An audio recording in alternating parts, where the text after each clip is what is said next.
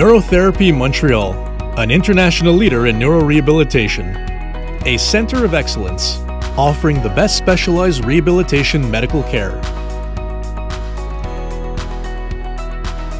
Our highly qualified team is made up of experts dedicated to our patients and their families.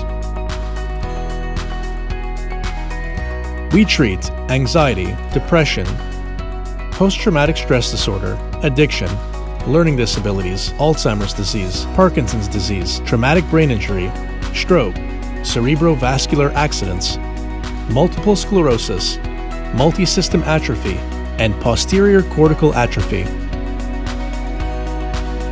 To achieve maximum recovery, our goal is to improve the quality of life of children and adults with neurological functional disorders. To strive for the most complete independence and to offer state of the art techniques and technologies.